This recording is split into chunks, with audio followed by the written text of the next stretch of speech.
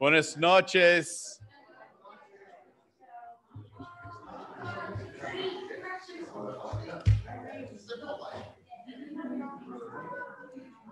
We're going to go ahead and get our meeting started.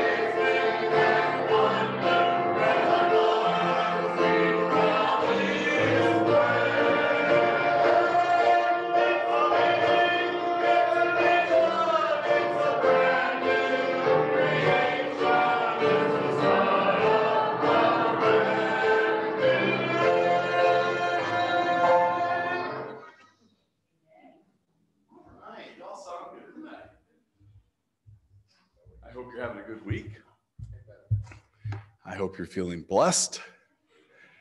And I also hope you're a little tired. Very tired. Uh, that means you're working. We want people to be working. It's good to work. We're going to take a little break, though, this afternoon, this evening, and uh, spend some time in fellowship. And we're going to hear some nice stories that hopefully will lift us up and strengthen us and give us the energy to run into the rest of the week.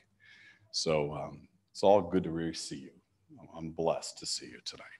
Why don't we stand? We'll open our service in prayer. Brother Joe, would you lead us in prayer?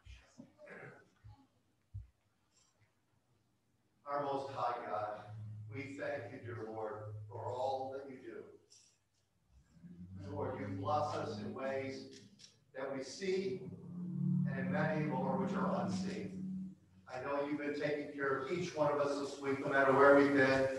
And Lord, you've sent, I'm sure, your spirit and angels at times, Lord, to be around us. Thank you for keeping us safe. Thank you for keeping us well and allowing us, Lord, even in this midweek to be here together in your church and to be able to spend some time thinking about the good things of God, hearing about work that's being done, Lord, for, for you on your behalf, for the church. And I pray, Lord, that all of us will be blessed by our, our brother Greg's report this evening. You'd inspire his words about all the good things that are happening. And Lord, we recognize how much there is to do and how we all need to play our part and our role in, Lord, the work progressing. So, Lord, without you, nothing will happen. You are the key to all of our victories, to all of our success, Lord. And we pray that we would always follow your lead and you would stand beside us. You would be our forward, you would be our rearward, in anything and all things that we do. Forgive us of our shortcomings. Strengthen us, Lord. And Lord, if we are tired this evening, I ask you, Lord, to recharge our batteries and give us all that we need. And bless all those who are not here tonight. Bless all of our people, all of our loved ones, our family, those we know who are sick, those who are grieving, those who are hurting this morning, this night. We know your power. We know what you're able to do. And we thank you for it, and we ask, Lord, that tonight many good things would be happening that you would do for your people. Be with us, bless us, guide us, and direct us tonight, is my prayer in Jesus Christ's name. Amen. Amen.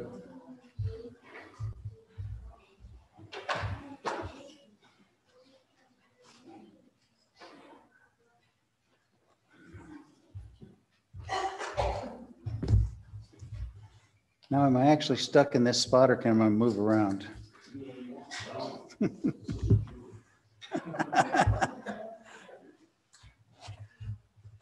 How many recognize these books?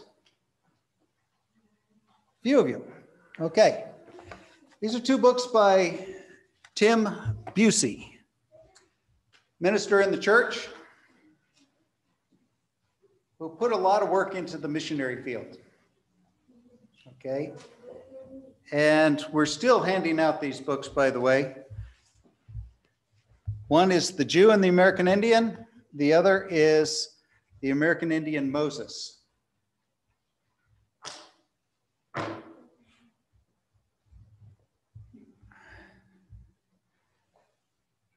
Tim Busey would leave his family, leave his home, catch a bus, and go to a place called Oklahoma for two weeks at a time, two, three times a year, back before cell phones. so there's no way to contact him, there's no way to find out what's going on or anything else. His grandsons have picked up this work and have continued it continued that part of basically what is the legacy we call the Oklahoma work. Julie can chase me down. um,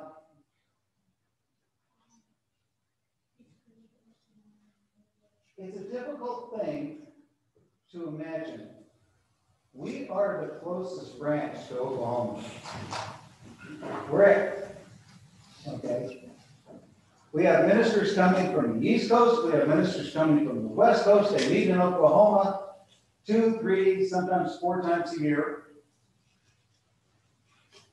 And that's it. I mean, don't get me wrong, they're doing a wonderful job.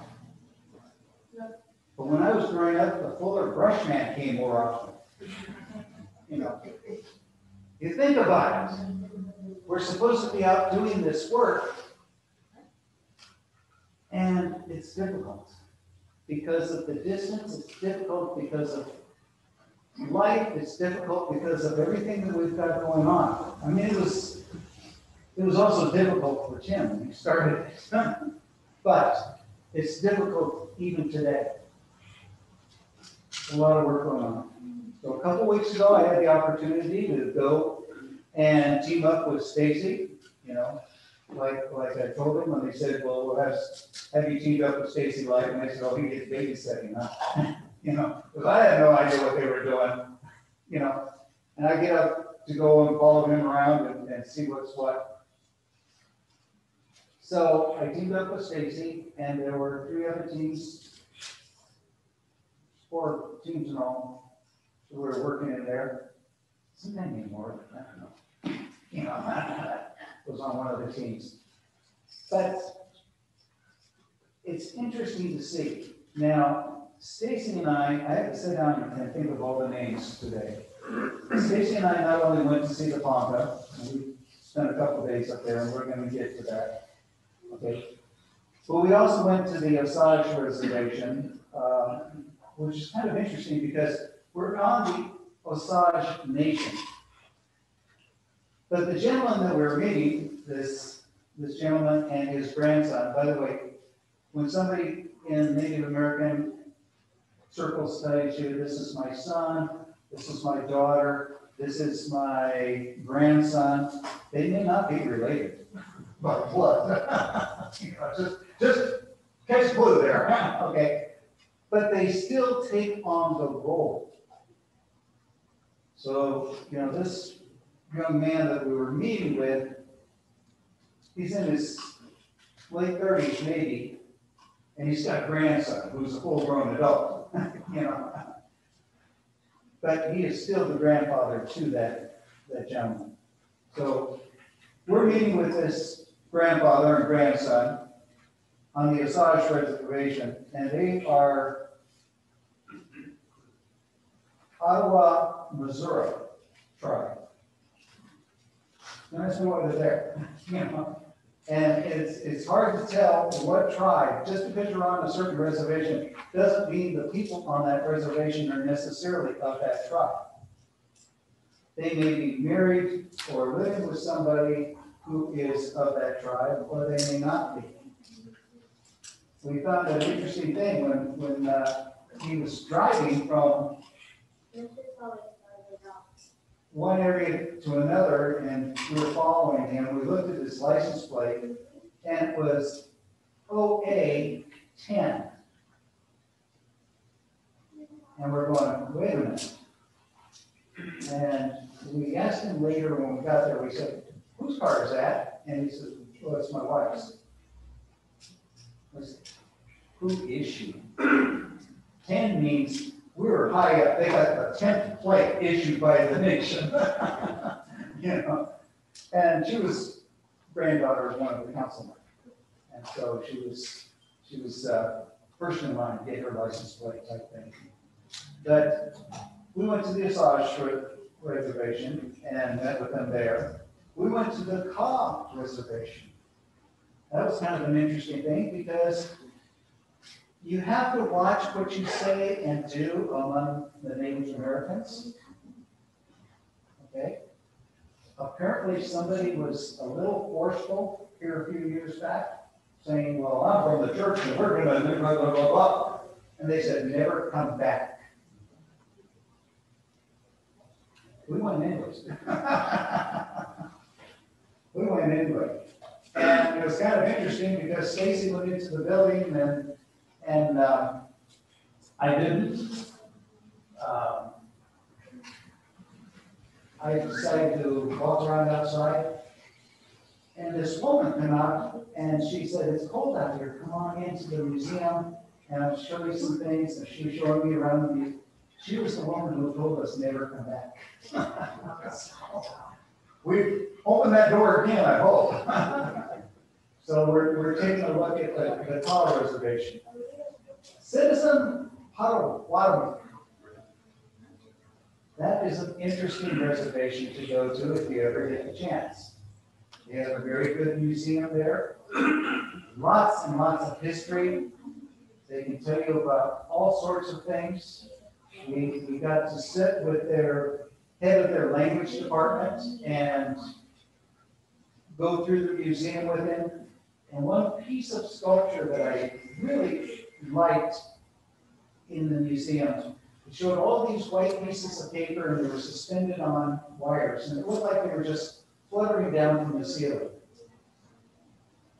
And I said, tell me about it. This really looks significant. And he says, those 40 pieces of paper represent the 40 trees that the white man broke with us. Hey, where, where's the paper? There was nothing printed on it. He said, the only time they ever kept their word is when they said they were going to take your land. Okay. That particular reservation, the Potawatomi, if you go into their museum, you'll see a picture of an old beat-up trailer, had three cars out front, to give you the idea of the work of these cars. And one of the nicer looking of the three was a Gremlin. You know, so I had these three cars parked with the trailer. He says, that's when we had that trailer and two acres. That's all they had for the whole reservation. They have since bought back most of their land.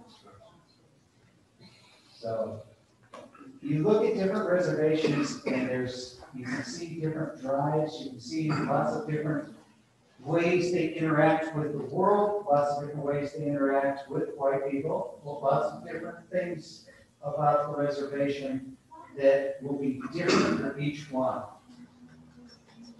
I once went to a reservation in San Diego County, out there in California, has zero people on it. Why? Because they didn't trust white man, and they didn't make out wills, and they gave so much land to each one of their tribal members, and when that person died, there was no will, so that land got divided equally amongst all their heirs, and now it's down to where each person owns one square inch. So nobody can live on the reservation. I've seen other reservations that I've literally walked down the street and found a young man laying in the gutter with a gasoline soaked rag over his face. And you just reach down and flip the rag off, and he gets some oxygen. And you keep going. You don't say anything. You don't embarrass him. Just make sure it's still alive, still breathing, keep going. Okay? In that same valley, I have seen other reservations that you look at the homes, and this is a modern housing project. The one I'm thinking of, the government said they wanted to come in and build a home, and gave the tribe some money for the home, and the tribal council said, fine, we'll, we'll accept your money, come on in, we're gonna build, I guess it was three homes they had to build. And he said, but, here's our condition. You will hire members of our tribe to be your assistants all through the build. So the plumber will have plumbing assistants that are from the tribe, the carpenters will have carpenter assistants from the tribe. Every, every aspect of the home will have assistants from the tribe. Said, okay, so they ended up in, in building these three homes. Tribal council thanked them, signed it off. Said, have a nice day. Now bring in those assistants. Build us three more. Okay? They knew what they were doing and they were working for their people. And you see different reservations with different aspects of this. Potawatomi was definitely one of them. Okay? Uh, right next door was the absentee Shawnee. They didn't show up for the land, so they were called the absentee Shawnee. And guess what? They weren't there when we were there, so we didn't them. So, um, I'm sure they're, they're very interesting people. I haven't had a chance to meet them yet. Um, got to meet a gentleman who's about my age. Uh, Air Force though, so we won't hold that. But a guy named Don, he's a member of the, the Tonkawa tribe. We met in a casino. Wine, wine breakfast, you know. And Don was a former chief of the tribe, so. you know, these contacts have been groomed over the years, and you just kind of renew friendships as you go along. And at the same time, you try to make new friendships. Charles was another, another Air Force. He's Comanche. He was the last day of our, our trip was, was the Comanche tribe. And, uh, so he was, he was another one that, uh, he was an honorary Comanche. The Gentleman's a black man. But he has worked with the tribe all his life. And so he is considered a Comanche.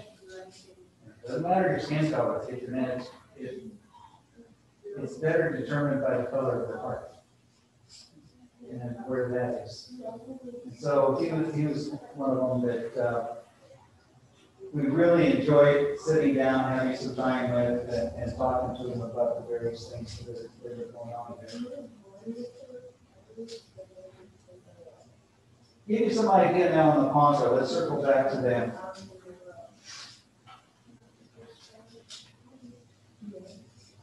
Shelley managed to look up Eagle on Facebook. However that works. And we met Eagle, um, when we first arranged to go up and meet with Eagle.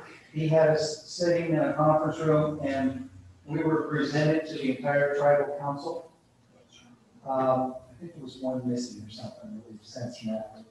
But, uh, we were in and, and, you know, the whole council was asking us questions, what about our church, about why we're here.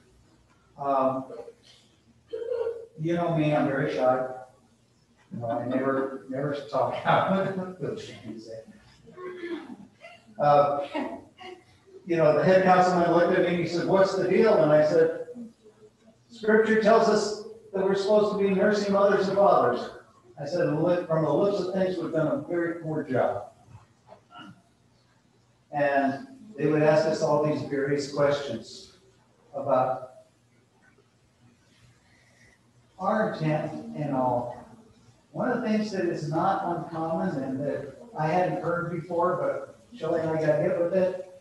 I said, well, we want to come up, we want to work with you, we want to, you know, do things with you, and he said, fine, when do you move here? What's the commitment? What's the commitment? Are you moving here or not?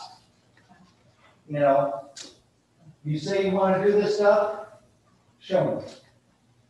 You know? And he said, are you moving here? And I said, well, the Lord tells me to, I'm moving here. You know, Uh, he hasn't told us to move there yet. Let me tell you about Ponca. Ponca Reservation has this beautiful green park. We've been in it. It was the first fancy dance uh, ceremony contest was held there, and they got this huge boulder with the winner's name etched in it and all this sort of thing in the park. And it's got a river that runs right alongside the park.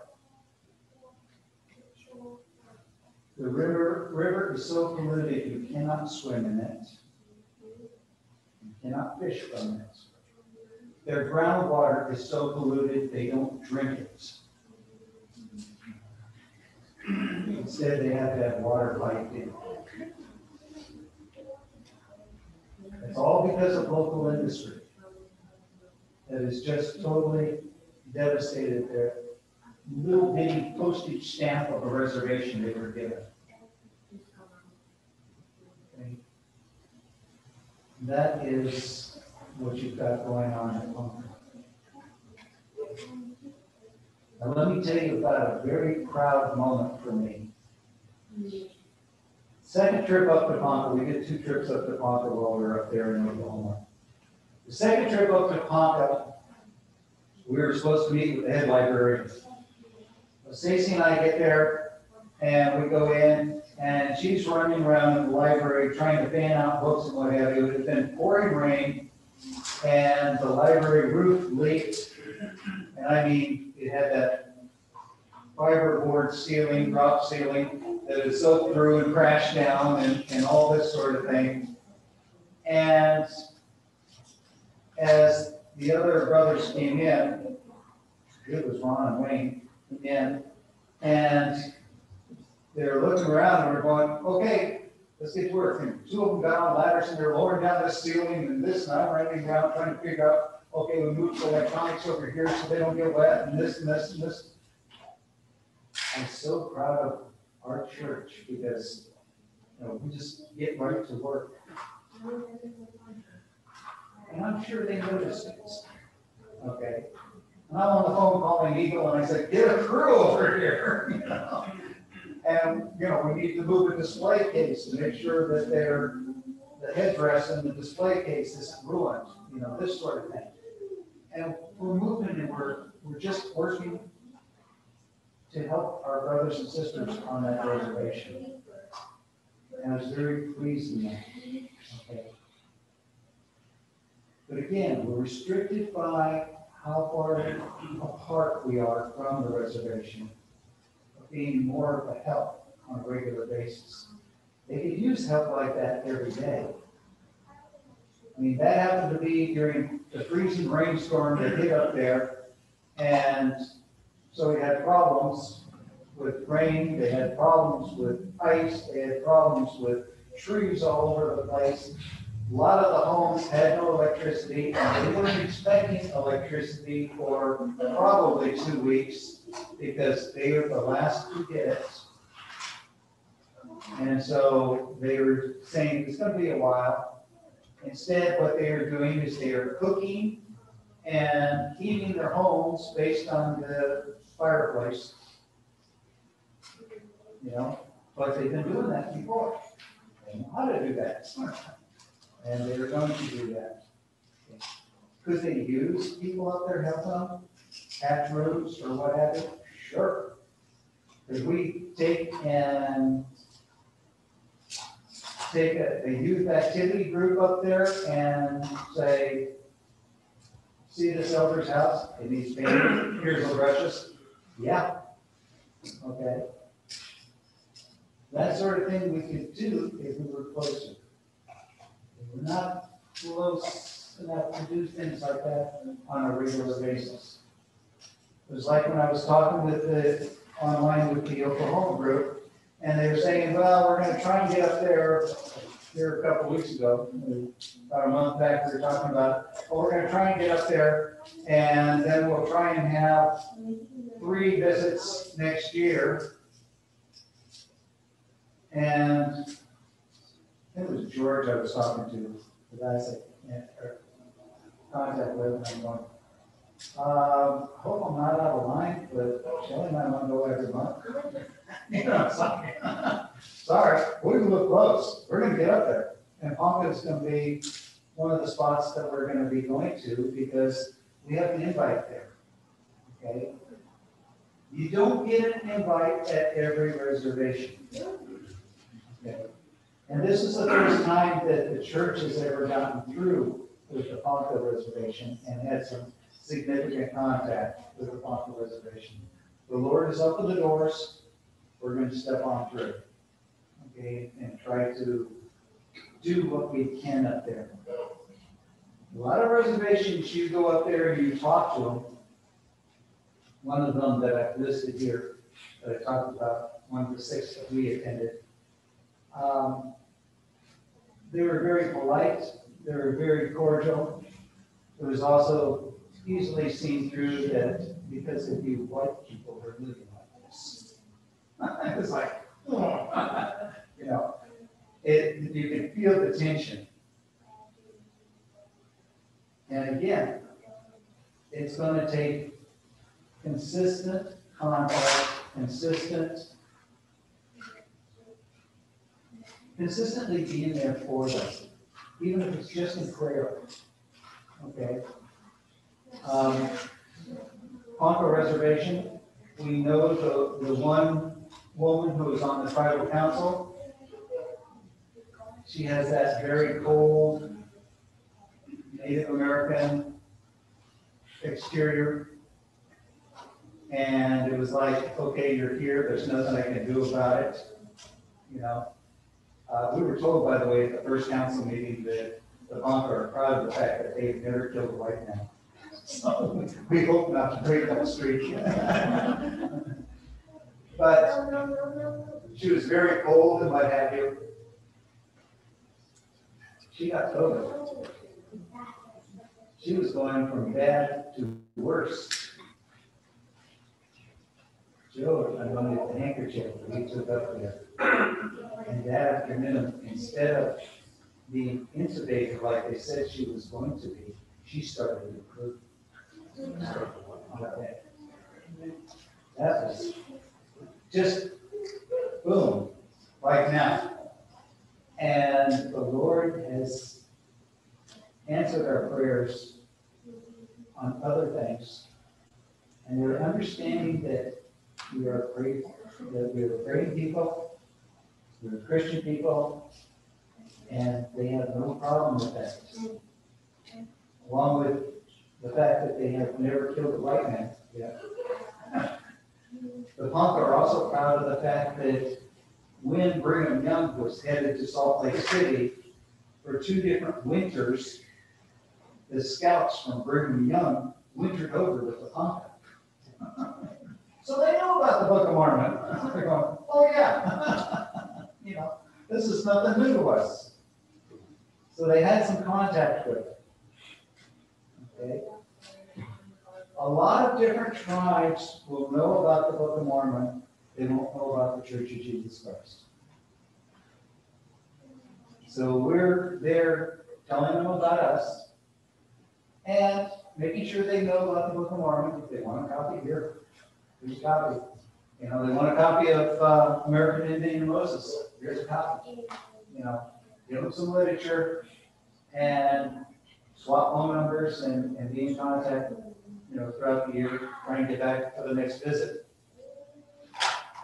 A lot of them will know about the Book of Mormon, they won't know about the church,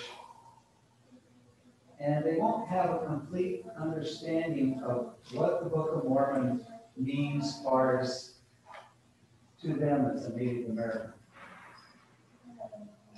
They may be heard something about the fact that it had something to do with them, they're not even sure how, you know, this is kind of like, yeah, well, I don't know, it's one of those Christian things, you know.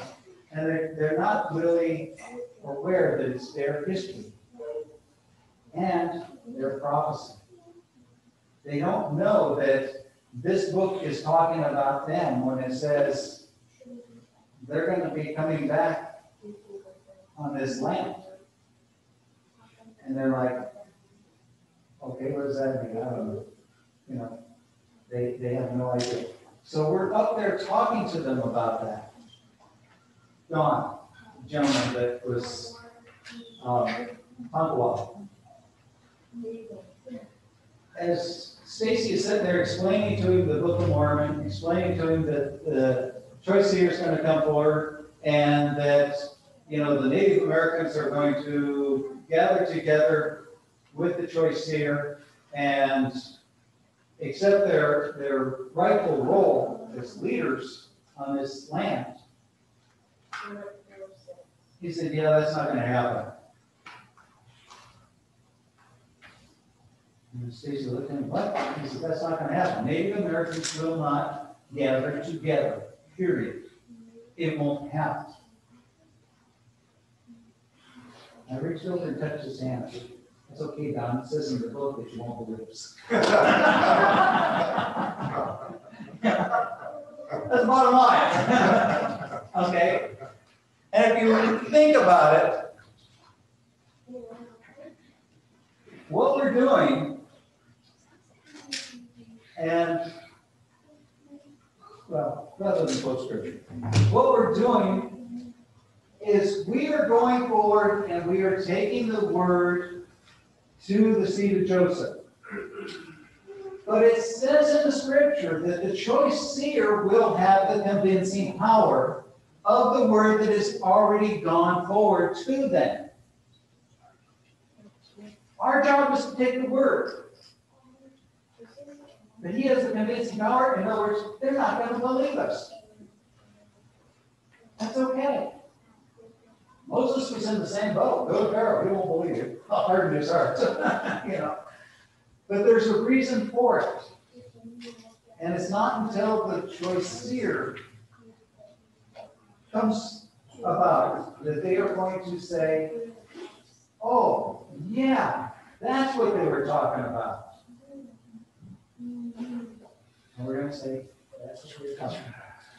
Now, does that mean that absolutely nobody is ever going to get baptized into the Church of Jesus Christ until the, the choice seer comes? No. We've already had people baptized from different reservations of this church. That means that as a group, they're not going to believe us. And so we need to understand that as well. We need to be respectful. We need to make sure we're not pushy, okay?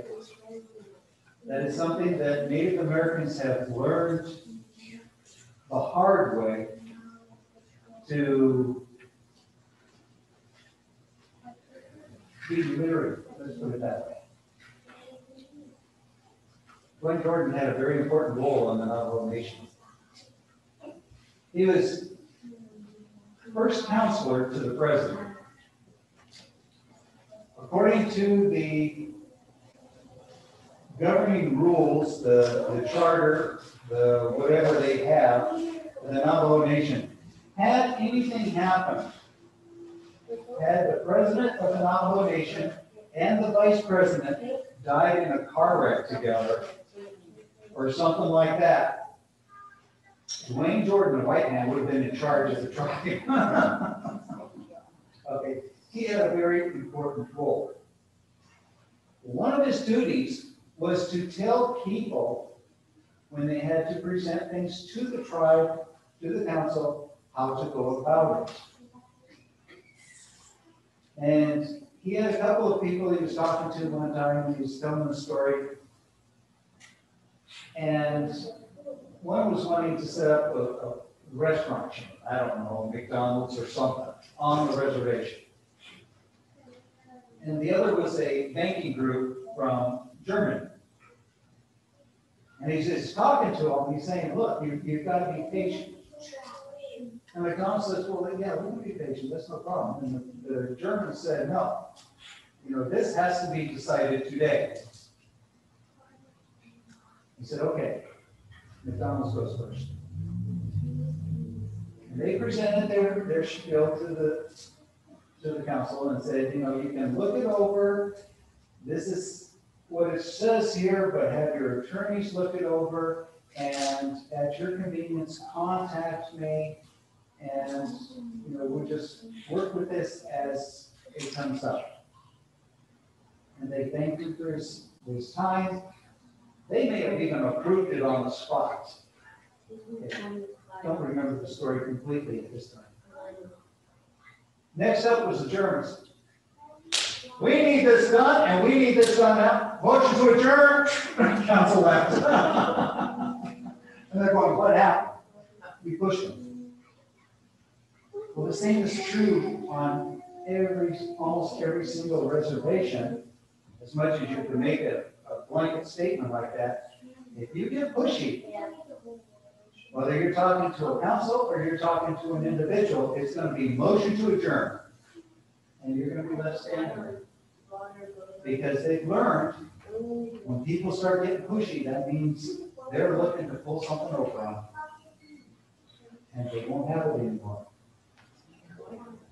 Okay? How many of you are aware of the Supreme Court decision with regards to Oklahoma and the law recently? Two? Okay. Basically, what happened was a gentleman, uh, killed someone, murder. He was a Native American. And the other person who is no longer amongst us was also Native American. It happened on an Indian reservation. And the sheriff came onto the reservation and picked him up, put him in the matching bracelets and hauled him off. They went into court and the judge said, how do you plead, guilty or innocent? The attorney stood up uh, and said, neither, your honor. He said, no, your choices are guilty or innocent, which is it? He says, no, this court has no jurisdiction. It went all the way to the Supreme Court. We weren't sure what that would mean. We thought it would mean that you couldn't go onto a reservation and arrest somebody without involving the tribal police or something like that. The decision handed down by the United States Supreme Court was the eastern third of Oklahoma belongs to Native Americans. Includes Tulsa. Pardon? It includes Tulsa. Which includes Tulsa, which includes Oklahoma City. I think it's in there, just inside. Okay? And basically saying that they are going to be the governing body. Doesn't mean that because you own a house in Tulsa, that you can say goodbye to your house. That's, that's not what they're looking to do. They're saying who's the governing body that is controlling this area? And they said this belongs to Native Americans. Bit of history. How many reservations are there in the state of Texas? Twenty. Three. Three in the entire state of Texas. Why? Because when Texas was becoming a state, they took all the Native Americans and pushed them into a place called Indian Territory, Oklahoma. Okay, they took them out of the state of Texas. Oklahoma, by the way, was once part of Texas. Texas went on up practically to Wyoming. Okay. But they put all the Native Americans up there, and then Texas doesn't have them down here. So there's a lot of Native Americans who were placed in that state, that area, from the north, from the east, from the south. They're all just pushed together. And then gradually, the government starts cutting back their land, cutting back their land, cutting back their land. Now with this Supreme Court decision, they're saying this land now goes back to the seed of Joseph for them to govern. Wayne, I believe it was, was commenting at uh, lunch when we got together up there in Oklahoma. And he was, he was saying that they were talking to this one chief about that decision. And the chief said that our attorneys have been contacting Oklahoma and contacting Oklahoma. We need to sit down and negotiate this and figure out how this transition is going to take place. What's it going to look like in the middle of it? What's it going to look like at the end of the transition? What's it going to, you know, we know what it looks like now, but how is this going to go? They've been stonewalled. And the chief said, you know, we're running out of patience. It's gonna be no more Mr. Nice Guy. And it's like, oh no. So watch the news about Oklahoma. There's gonna be some, some things involving the seed of Joseph, and they're going to be asserting themselves. As it should be. So it's gonna be, a- it's gonna be an interesting time of change with all of this. In the meantime, as a church, we've got to get in there and let them know that, hey, there's, there's more to this than just a political move and a court decision. Because this is the record. This is your history. This is what's going to take place in the future. And we need to let you know that. Again, they may or may not believe us. But here it is. And lay it out for you. You'd be surprised how many are listening and going, oh, that sounds pretty good. Don wasn't convinced that we could get them all to follow one Native American, but others have said, I'd like to know more. I want to hear about this. And oftentimes we're meeting in restaurants where, you know, come on, we'll buy breakfast, you know, Don happened to be in a casino. Don't recommend ever going into those places because you know, cigarette smoke, the stench, but get out, you want to take a shower. But, you know, meet in a restaurant, talk to them, share with them what's going on, share with them while you're there. And you also start developing a friendship. And that's the most important point of all of this, is the friendship. So, look at something. Well, tell them about the, the sweat lodge that we helped build and, um, you know, you know, what we're doing, the physical stuff. Eagle, we get up there, Eagle says, I, I need help. Okay, what do you need help on? A sweat lodge. And I'm going, "Eh." We're building the building, we're not gonna go to the sweat, okay. You know, and so we're putting together this building. So you, you bury poles on the ground, you bend them over, bury from the other side, tie them off, and you, you build this dome-shaped structure about yay tall and probably twelve feet to fifteen feet across. So we get this sweat lodge built. One of the gentlemen who was up there that we got to meet, that we had met the first time we were up there, was a guy named Scotty. Sounds like he belongs on Star Trek. Okay. And Scotty is bending poles and we're tying off and, and doing. Scotty's one of the councilmen. Okay. We're sitting there putting together a sweat lodge that there's no way we were gonna be participating in. But Scotty's there working with us. The day of the rain, I believe it was Wayne who said he was a little disappointed because he had hoped that when they met at the library, that he would be able to meet with, you know, meet, at least meet someone from the tribal council. Because that was one of the things they hoped for. I said, remember that guy in overalls? The one that went up on the roof? He said, yeah. I said, that's Scotty, he's of the tribal council. He was up there on the roof, pushing the water off, trying to get things going. Um, a lot of the times you're not aware of who you're meeting when you're, when you're meeting with various people on the reservations. You're not aware of who they are related to, and those distant relationships, like this is my grandson, when obviously you know that, one, they don't look alike, and two, the age discrepancy is not enough. Um, That may be an important meeting. Uh, When we were on the Osage Reservation, met with somebody and commented that we were gonna go talk to Eagle, and he said, don't mention my name. I'm going, okay, is there a problem? I said, yeah, kind of, I used to be his sister. Okay. That was in here. Sounds like a jerk.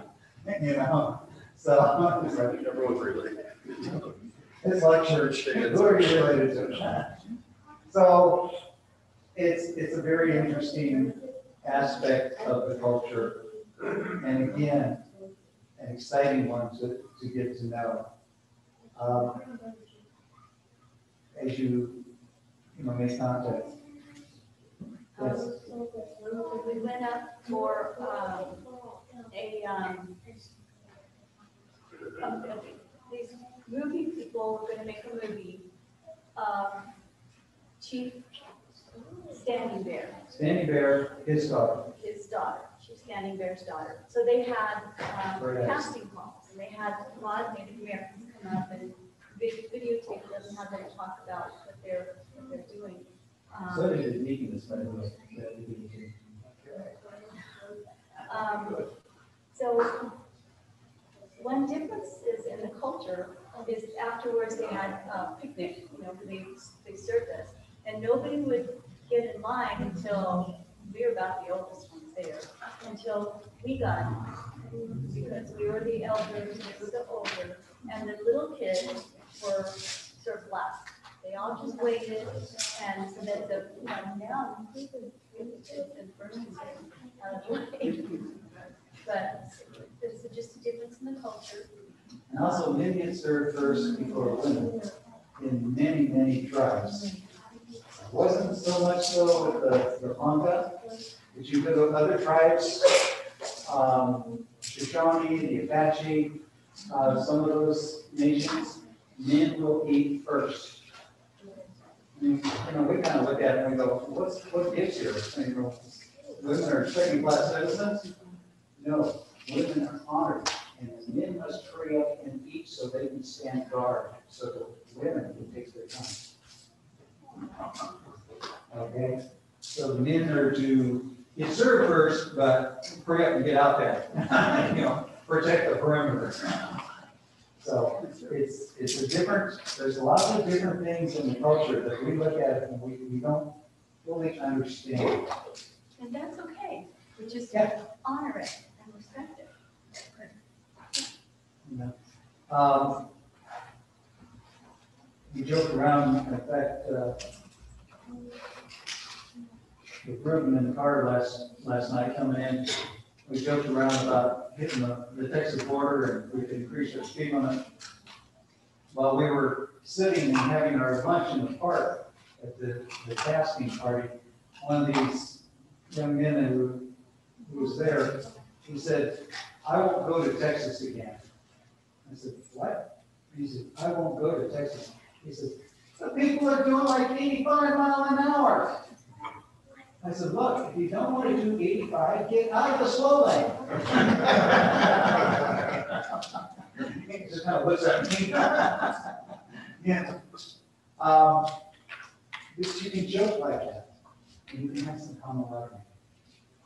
And especially if the joke is on you and make fun of me, myself. Um, you have to be very careful about anything that they may interpret as you're making fun of them. Okay. Um, how many are watching YouTube videos? Am I the only one with all this pandemic stuff? Depends what it's for, right? Fixing cars, yeah. absolutely. Cars. I was watching one today, and it, it's a Native American group, and they're talking about, you know, all these various Native American videos that are out.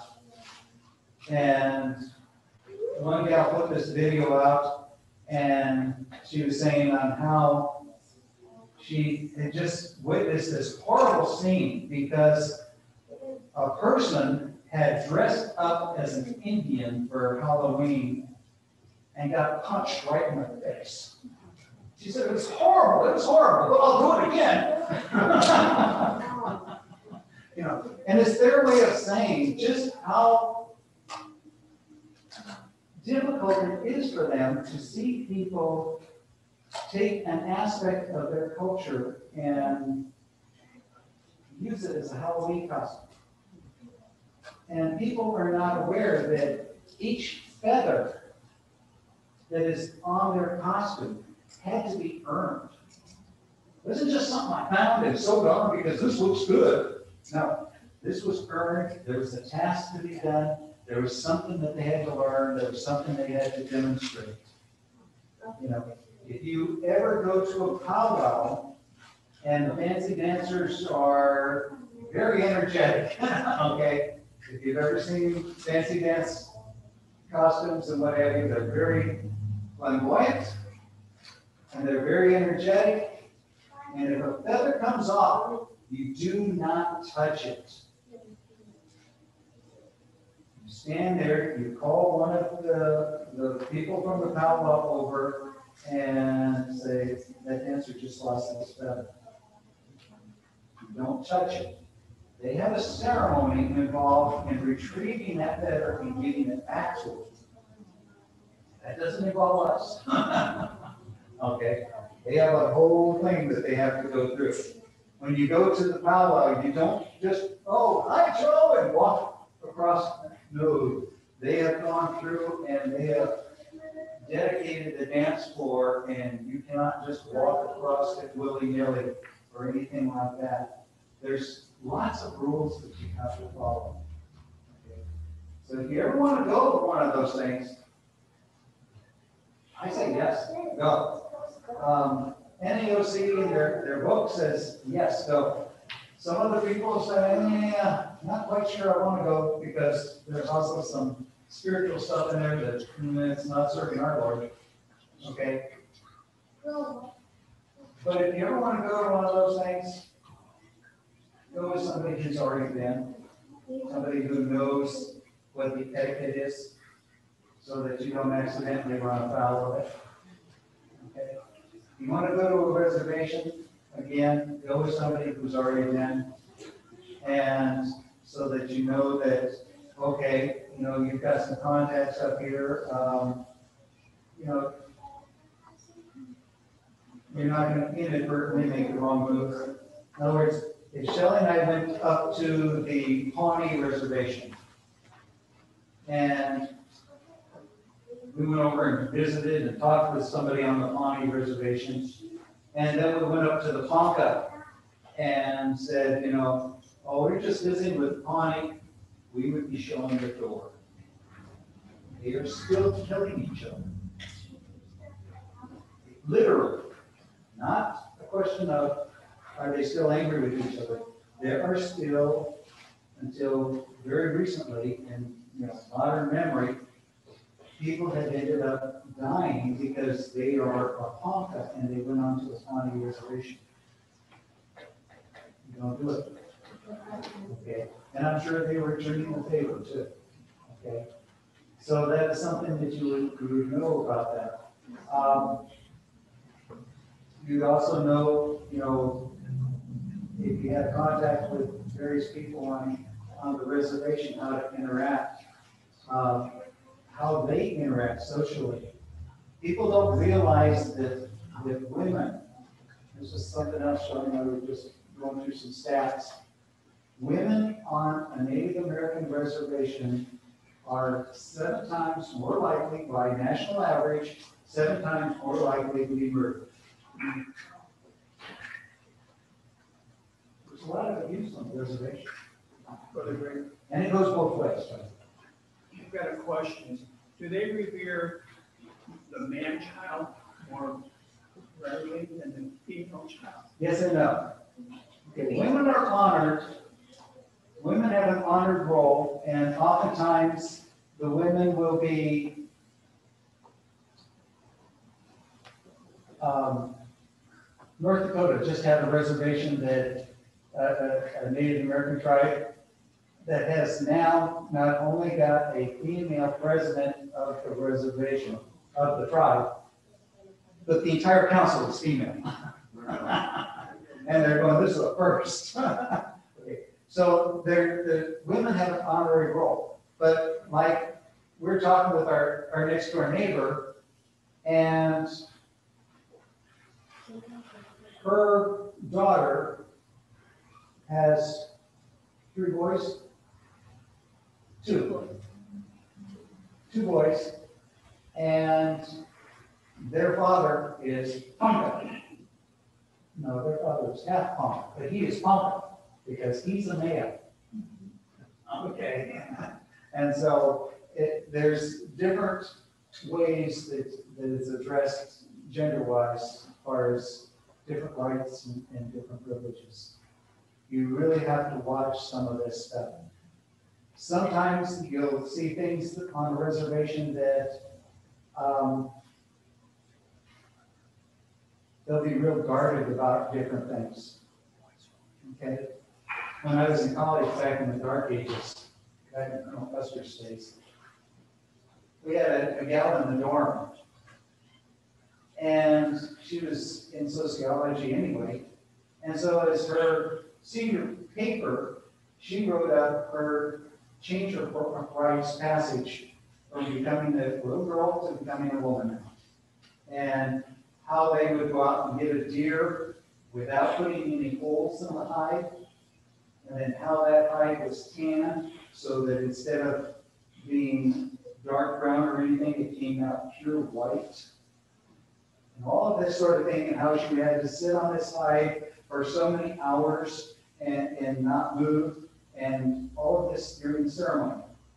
This was all written up in her paper. She went home for Christmas. She's at her parents' home, they're on the reservation, knock on the door, in comes the chief and the shaman. Okay, we're on. And the chief said, I've heard about this paper. Turned to the shaman and said, did you give her permission to write this paper? He said, no. Did you? Chief said, no. Chief turned to the parents and said, you have no daughter, and walked out. Her name was taken off the list. She shared something that hadn't been common knowledge. So sometimes you'll go onto a reservation and they won't want you to know things. You just respect it. You just go from there. Any other questions? I have a million, I have a million, at school teacher partnering, I have just a million of them. This is so interesting, it's fascinating to me. So it seems like what I'm hearing you say is the biggest obstacle uh, for any white man on, or white woman that enters a reservation is just to establish a level of trust and being respectful of them and their culture. Do you think, and maybe we just haven't got far enough along in our dealings with the people of Oklahoma as a church, but do you think their reluctance maybe to, to adopt the Christian faith is also their fear that they would give up their own culture, that the Christian practices and their native cultural practices don't exactly know. And I guess the follow-up with that is simply, when I was in Africa last year with my daughter, they converted people to Christianity, but they didn't want to give up the voodoo. They, they still had all this witchcraft stuff in their homes. Do you see the same kind of obstacles as, as for us as a church for them to adopt? Shelley and I spent the better part of the morning working on a sweat lodge. Tying it all together and getting it all covered. The next night, was it? Yeah, it was the next night, they got it covered. And Eagle went in to the sweat lodge and he spent probably hours in there praying to the, our Lord Jesus Christ.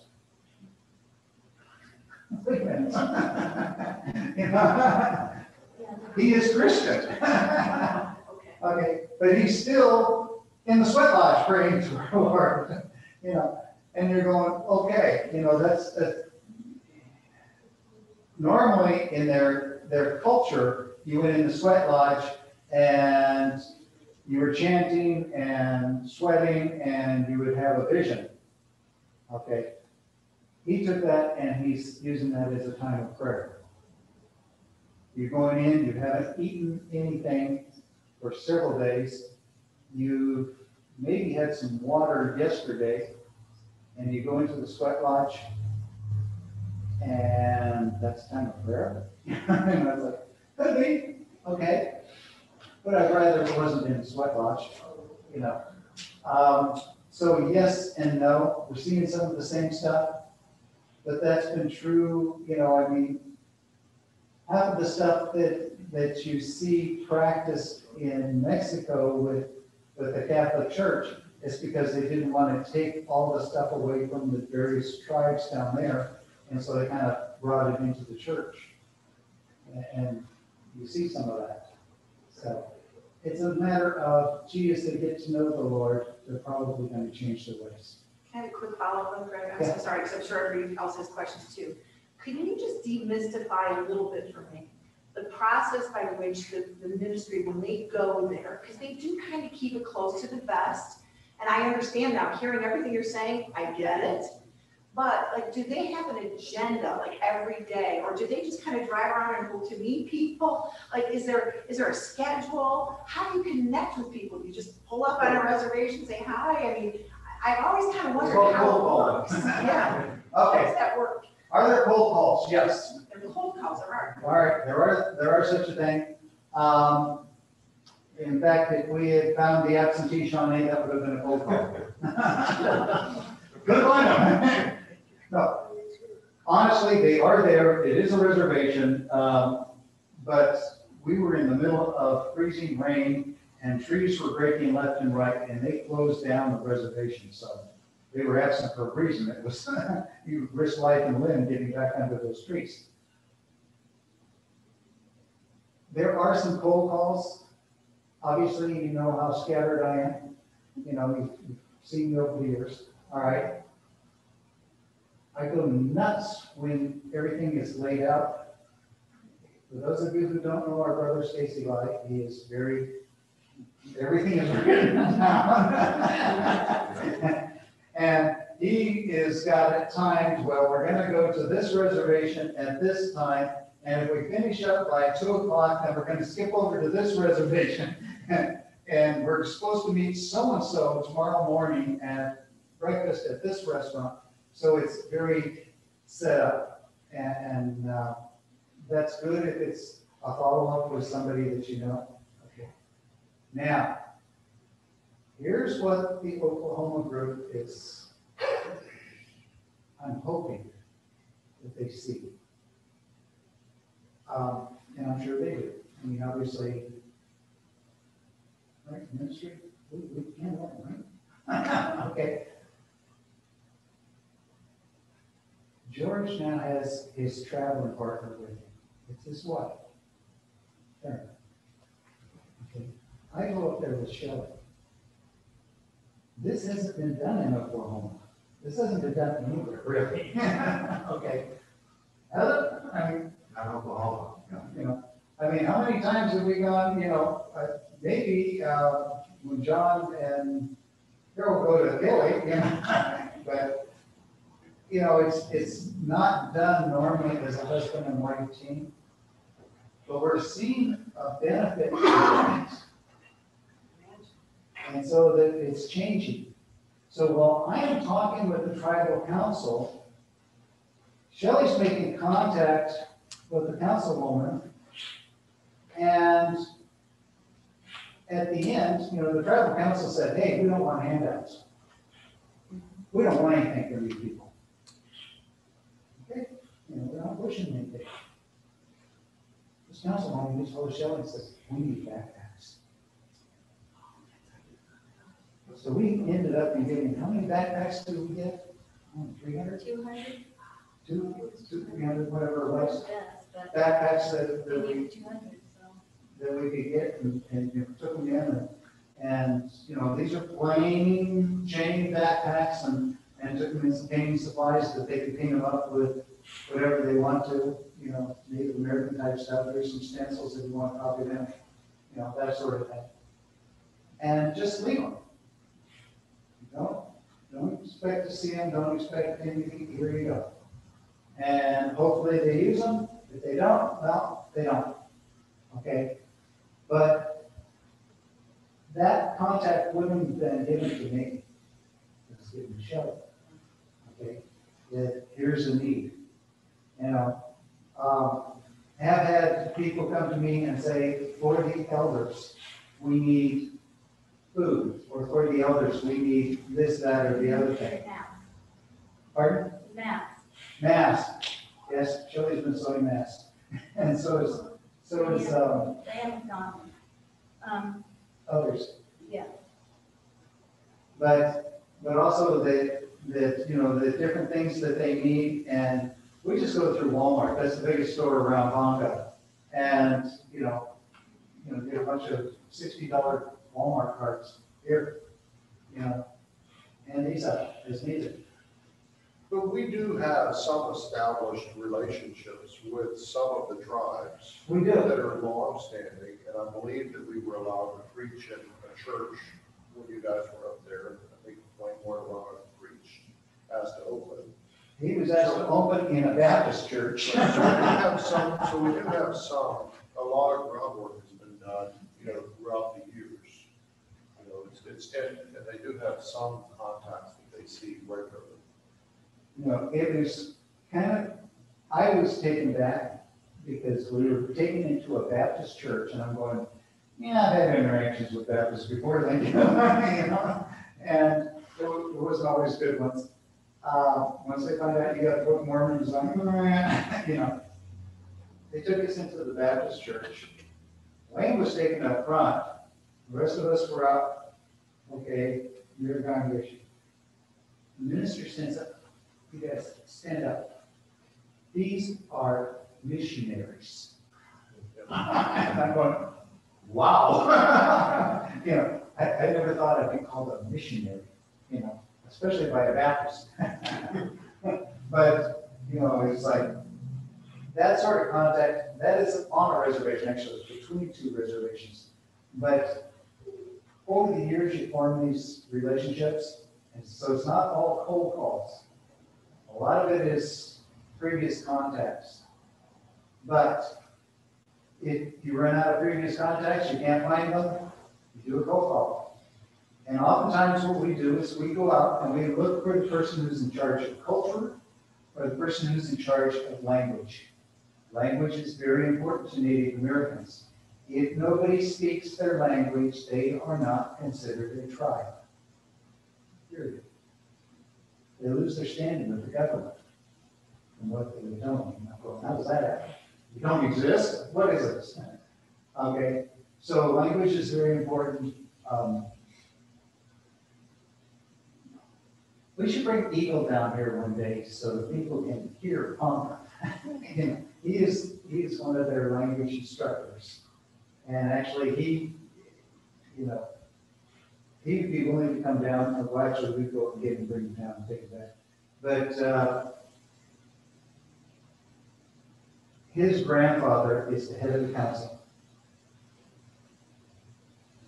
He looked at me, you know, when grandfather said something, he said, remember what he said? I said, yes, I remember. uh, you know, Glad he translated it, and he said, yeah, well, that's not grammatically correct. He's a stickler. He's a stickler. Okay.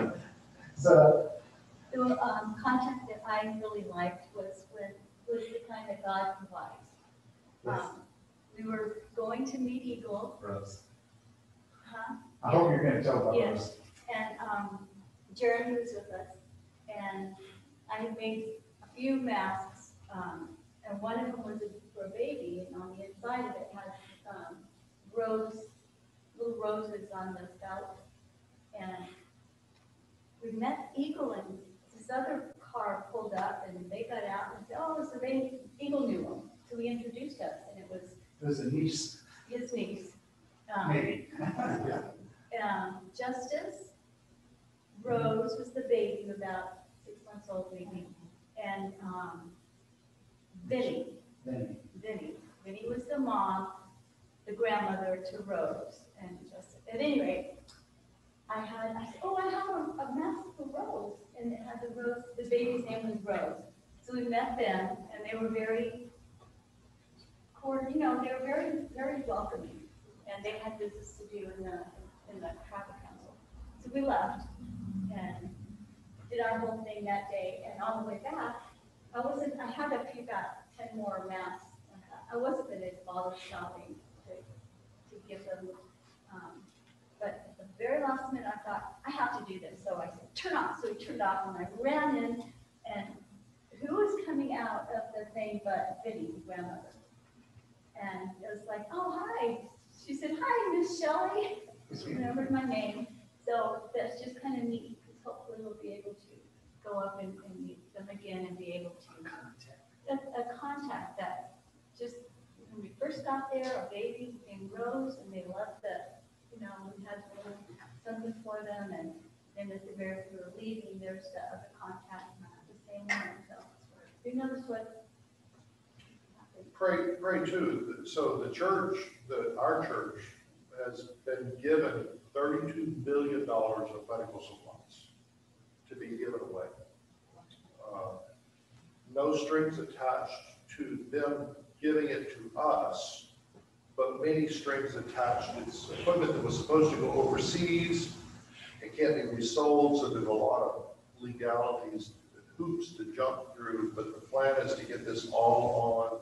It cannot be here in the United States. It has to go to reservations. So they're trying, they're working through all the legal stuff to try to get it on the reservations. But I mean, it's everything from pacemakers to EKG machines to uh, prosthetic limbs. I mean, it's just, the warehouse, I was told, is just incredible. And And this is often stuff that has been opened once, closed, re-sterilized. Yeah. But once it's opened, you can't use it in the United States. you know, it's, so it's, uh, but they'll also do training, you know, for the medical equipment. The problem now is, is just getting it onto the reservations. So many reservations are still closed. But they believe that medical also, that was open such huge opportunities. Medical reservations were closed. No, not all reservations. No, e- even Dee, she St. goes, Carlos Dee, is up Dee can't go on and on. She's allowed to go once a week for virtual. St. Carlos, yeah. So, uh, it, it's, Honda has had more cases, and they said, please, you know, keep your distance, that sort of thing. Again, they're not, I look at them and I'm going, come on, use your resources. Uh, Eagle is one that sits at home. Okay, when he's not teaching language, he is taking care of their lawns. That's what he, he says, I'm a grass cutter, that's all I do. Okay, um, but he's also the grandson of the, it counts. But, but he's sitting at home. He's already had COVID. He can't give it to anyone, he's negative, you know, use him. You Get him out there, but, you know, again, just like, you know, any of our government, our city governments or anything like that, you know, you've got bureaucracy and oftentimes we look at it and go, what's going on? Um, Yeah, there's, there's difficulties out there, there's lots of, there's lots of, there's a lot of the reservations, uh, were closed. A Couple of them that Stacy and I tried to get to, um, other than the amplification, I mean, they were closed, There's a couple of them were closed due to no. So, we're Running overtime, way overtime, so I want to cut this off, and please, any, any questions, you can holler, anytime. Um, Like I say, if you want to have people down here, we can do that. You know, Just write up a request and put it on the church stationery, and uh, you'll let the, you can have down here. So, You have to stay in Okay? Thank you. Thank All right. That's good, brother. Well, there you have it. Introduction. I know the, the Oklahoma team has been working, like Brother Greg suggested, for many years. Um, Started off as a handful brothers, you know, the, the grandsons of Brother Busey. And uh, felt this calling to go to Oklahoma and they stumbling and picking up speed and momentum and and now it's really starting to be something, right? Uh, there's a lot of good things that are coming. There's a lot of really positive contacts. And what I always get excited about is hearing how God is blessing these people. When, when they have an opportunity to share the word of God with them, how open some of these folks are. They're, they're just like children, sponges for the word of God and it just kind of sucks right into them. And the, the testimonies of the brothers have been there's this amazing spirit that they feel in that place, and and different than what they feel in a Gentile church. And they recognize they're doing something unique. You know, We can talk to people in the street, we can share the gospel, and we can be blessed, and that's a good thing, doing God's work. But when you're really reaching out to God's people, it's a bonus on top of that, because we're doing what this church has been called to do. We're not only bringing the gospel to, to the lost, we're bringing it to the lost tribes in anticipation of God fulfilling his promise. A promise he made in the 49th chapter of Genesis. I mean, we're going back a few years. God doesn't forget. And we're beginning to see now God's plan all coming together. And it's an exciting time to be in the church. It really, really is. So, um, no real announcements uh, for y'all tonight. Uh, We've had a regular service on Sunday, so we look forward to seeing everybody here. Uh, Is there anyone here who needs prayer tonight before we leave? Sister uh, Andy texted me and said to please remember her father Reuben, that he's having a pain again in his arm where he broke his hand. Okay. Is Mary? Um, I found out this morning that my granddaughter Jasmine has the COVID. Okay. The one here, or the one that's up in, The one that comes to church. okay, here. She texted me earlier this week and said she was over the worst part of it. Praise God. Yeah, so. She's getting better, Sister Mary. God heard your prayers already. Sister, I see you, but I'm gonna get over here first. Um, Norma from Fox Street, many of you know her, she's a good friend of a lot of ours. She uh, received some not very good news about her health. Um, The doctor wants to see her in person to tell her. She tested positive for a disease, and it could be one of two or three not very good diseases. She'll find out on, on Monday. She's hoping to come today after work and get anointed, so she might still come. Um, But she's asked us to please remember to pray for her. Boy, she no matter what she faces. She's always so positive. Um, but I know it'd mean a lot uh, to her if she knew that our church was praying for her. So please remember, Norma, um, the testing results will be given Monday. She knows we'll go there, right? Doesn't come house. Darlene, I gotta ask you a question. Are they gonna have that, um, turkey and stuff this year, or you don't know? I'm sorry, say again, brother? That for Christmas? I think- I don't think they're doing it. She hasn't said anything. I think right now with all the COVID things going on, they haven't been doing much of anything, and I think they're doing, uh, you know, she hasn't mentioned anything, you know, I still go to Fox Street every other week, and she hasn't mentioned any of that. I mean, if something was going on, she would have already asked for some help. Yeah. Yes. Uh, we do pray for Lily this week, and pray for Ruben and Diana, please, they are too sad. Uh, Ruben and Diana is is too sad. Yeah. Oh, okay, so great gratitude, she set up the thing. Her leg.